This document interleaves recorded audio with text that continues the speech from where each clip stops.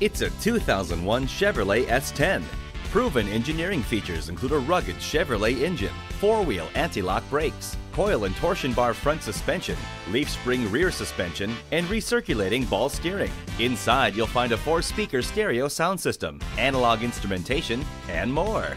Built to Chevy truck durability and reliability standards, this well-equipped compact pickup is an outstanding choice. That's Rockenbach Chevrolet.